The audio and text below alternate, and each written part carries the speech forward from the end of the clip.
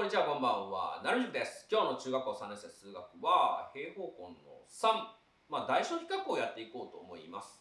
例題1、次の数の大小を不等号を用いて表せ。はい。終わりです。誰が何と言おうと、これです。31と21の大小を比べてるだけです。はい。ルートの中がでかければ、数字も大きいよ。いや、簡単だよね。でもどんどん発展していくからね。はい、次いきます。いきなり発展だ。ルート10と3。はい、今度はルート同士じゃないので、こっちみたいに大小の比較ができません。で、ここで、このタイプの大小比較の問題の大切な考え方が出てきます。ルート10、これルートを取ることできません。3、これにルートをつけることはできますよね。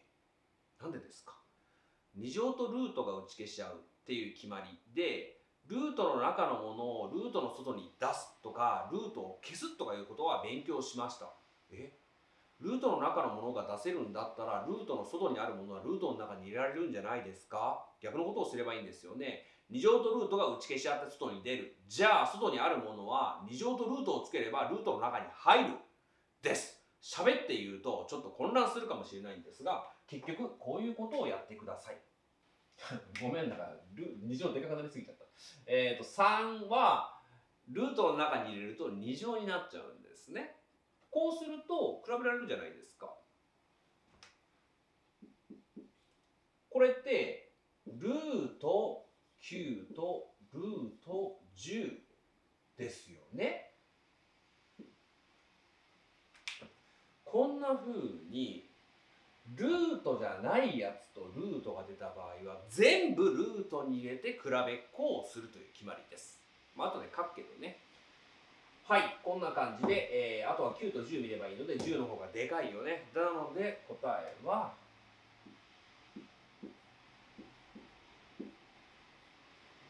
これで終わりかな。ルート10の方がでかい。注意してほしいのはルート9って書いちゃダメだぞ。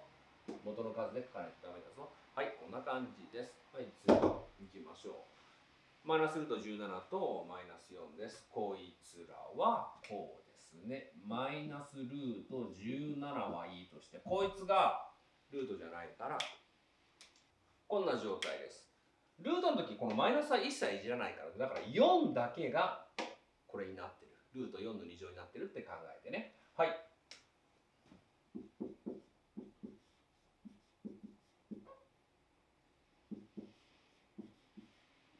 こんな風に書くことができるってことです。どっちが大きい？こっちが大きいかな？こっちが小さいかな？というわけで、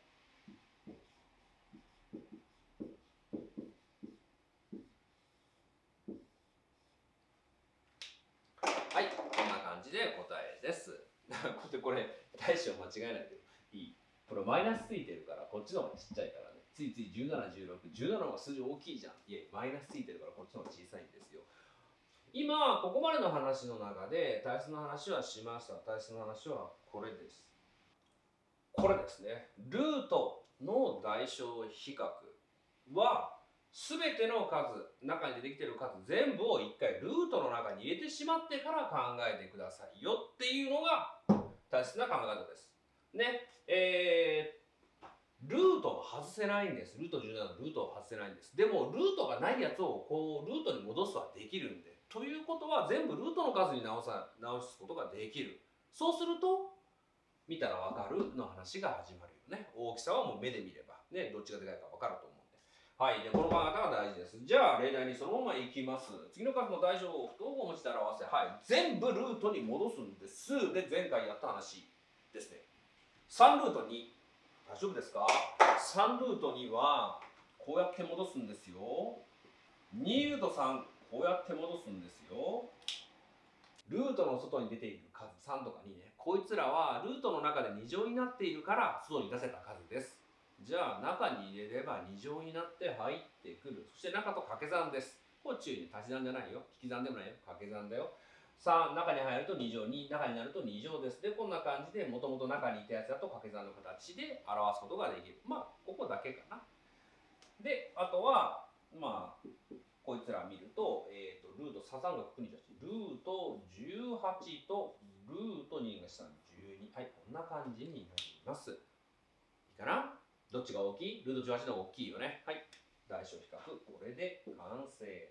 答え書くときはきちんと元の数の2つで書いてね。これじゃダメですよはいじゃあ次いきます。はいもうわかるかな？左のこうマイナスルート119はちょっと無理だね。変えようがないよね。こっちだね。こっちがこうできるからね。はい。2中に入って2乗です。こっちでも言ったけど注意ね。マイナスっていうのは一切いじくらないです。マイナスの数はマイナスはそのまま前に残るんで数字だけね。が中に入る。2が中に入ってこう2人が4 3 120だね。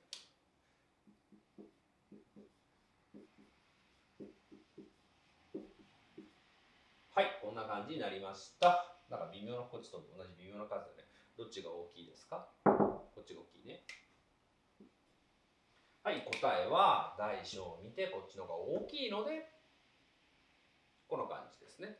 はいまた使いました。こっちとは違って1個の数字がドンって入る形じゃなくて前に出てる数字が今回あるやつをやってみました。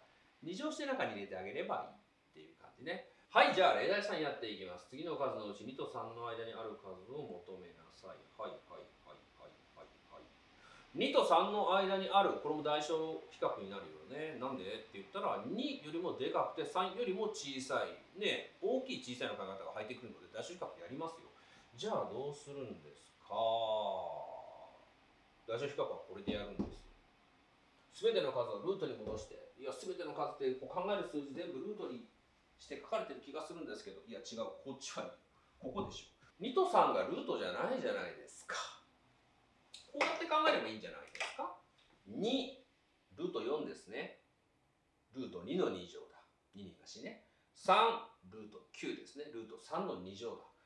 2はルート43はルート9なのでこの問題はルート4とルート9の間にある数を考える。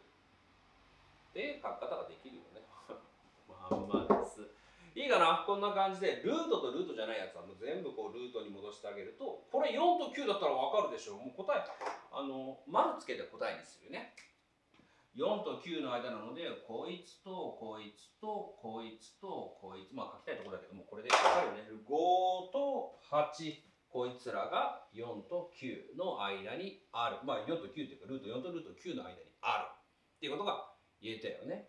はい、こんな感じで今回の主役は全ての数をルートに戻して考えるという問題です。あとまあ補足なんですけれども、この問題ってこんな出題のされ方もするからね。